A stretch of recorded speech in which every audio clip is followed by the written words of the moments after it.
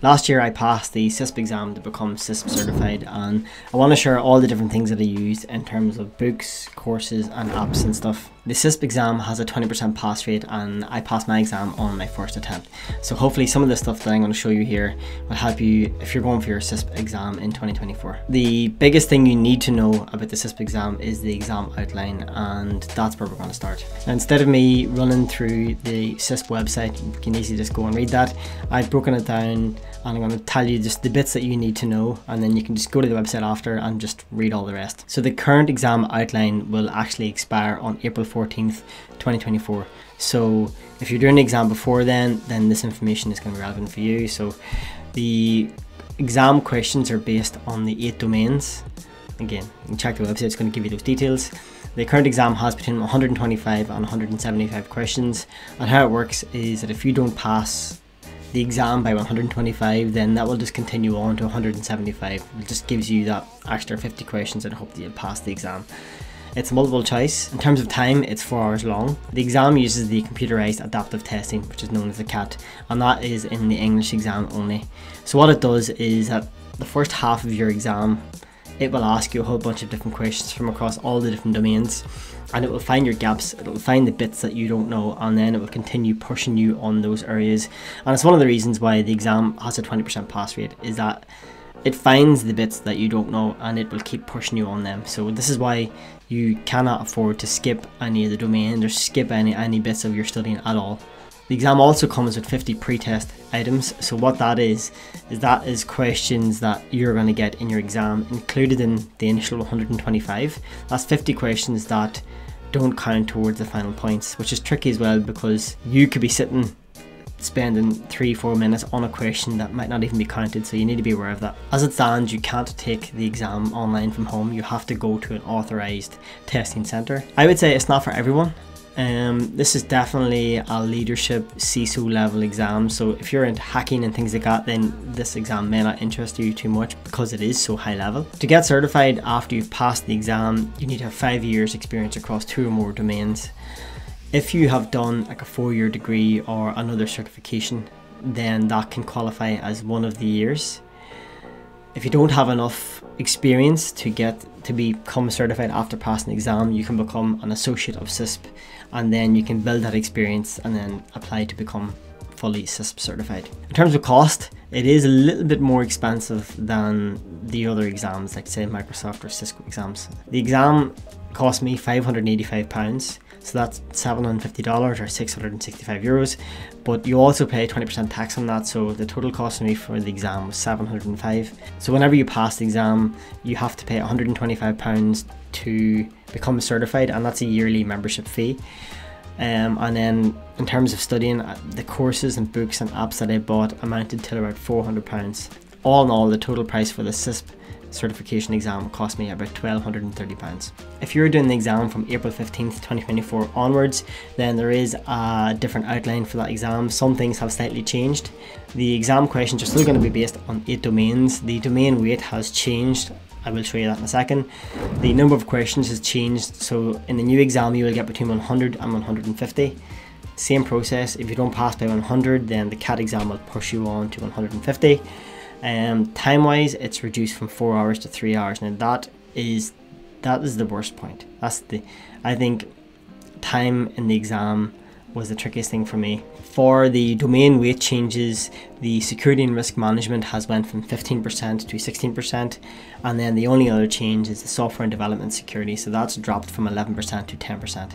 To show you some of the different things that I used to pass the exam, I would say you need to use a range of different material so video courses books apps try to get a good broad amount of material so you can absorb as much information as you can I watched the LinkedIn Learning course by Mike Chapple. That was actually a really good course and it was the first thing that I did in my study. Uh, and it gave me a really good idea of all of the domains. In terms of books, I bought five different books. So I bought the CISSP official study guide, so that's the Sybex study guide. That's actually was actually this one. This was the one that I used the whole way through the exam. I'd highly recommend it. I also bought the official CISSP CBK reference guide. You don't really need to buy that. This book should be enough. I also bought the official CISSP practice tests. Again, it was okay to buy, but I don't think you really need that. You can use the LearnzApp or maybe another app as well.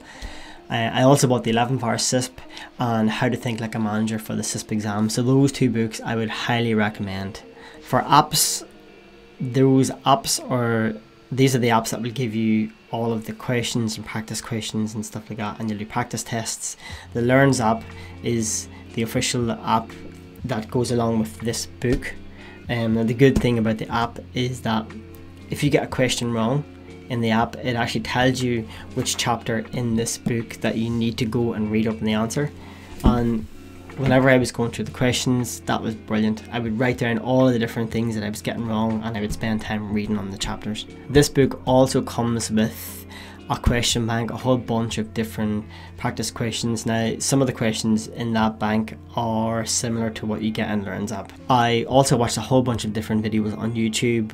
Just typed in CISSP and watched down literally a lot of the different videos, but three videos in three different places I can definitely recommend is Pete Zerger has an eight hour exam cram. I watched that like five or six times the whole way through um, that was really, really good. He also has supporting documentation in the description of the video. So that was like PowerPoints and all of the slides from his video. So even if you don't have time to watch all of the videos, get those links and get those documents so you can just download them to your phone and stuff. The Destination Certification CISSP Mind Maps playlist, that was also really good. And then a video that was really recommended I think on Discord was this Kelly Handernan, and that is why you will pass the CISSP exam. That was quite good because it teaches you just the mindset, and that is the biggest thing the CISSP exam. It's understanding all of the knowledge, but it's just a mindset, a security mindset, and from a very high leadership level. Two other things I did from the very start was to join a Discord group, and that was the certification station. Really, really good. And I also joined Reddit, so I was very active on the different communities. To give you an idea of step by step of the things that I did. Um, so I did my exam on the 4th of April and I started studying on the 1st of January and I'd give myself three months solid study time just to be properly prepared for the exam. So if I start off in January, the first thing that I did is I went through all of the LinkedIn Learning course. I just watched it start to finish. And then I bought all these books. Um, I joined the different Discord groups on Reddit and then I planned my exam date and then I scheduled my study time. So I always try to plan my exam date around the very start because otherwise time will drag on and drag on and I will never have an actual finish date. So if I plan the exam date and even book the exam right after starting then at least I know I have, I have an end date and I sort of put a bit of pressure on myself to, to properly prepare.